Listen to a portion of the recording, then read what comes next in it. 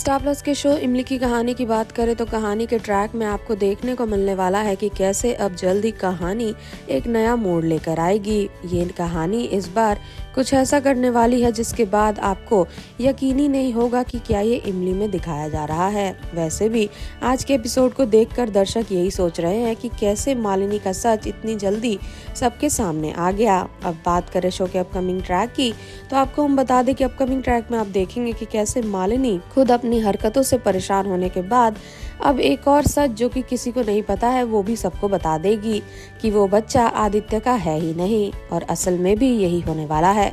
अब देखना ही मज़ेदार होगा कि आखिर ये सच कौन सी नई तबाही मचाता है।